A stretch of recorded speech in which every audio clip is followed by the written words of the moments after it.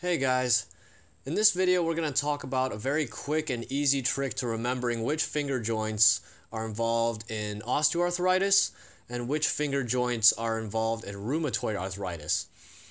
With each disease there are clues that may point to one versus the other and knowing which finger joints are involved in each disease can be helpful.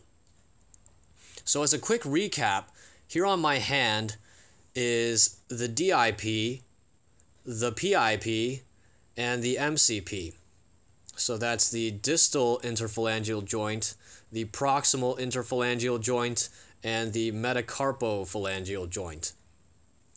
Now, in osteoarthritis, you're going to see involvement of the DIP and the PIP. Whereas in rheumatoid arthritis, you're going to see involvement of the PIP and the MCP. So you may ask yourself, how am I going to remember this? So I'm going to start by putting a ring on my finger. Okay?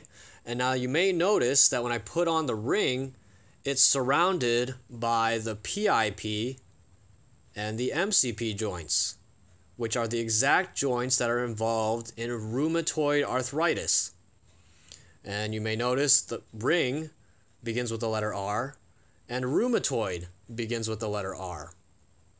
So to remember which joints are involved in rheumatoid arthritis, just think of a ring on your finger, and then you'll remember PIP and MCP.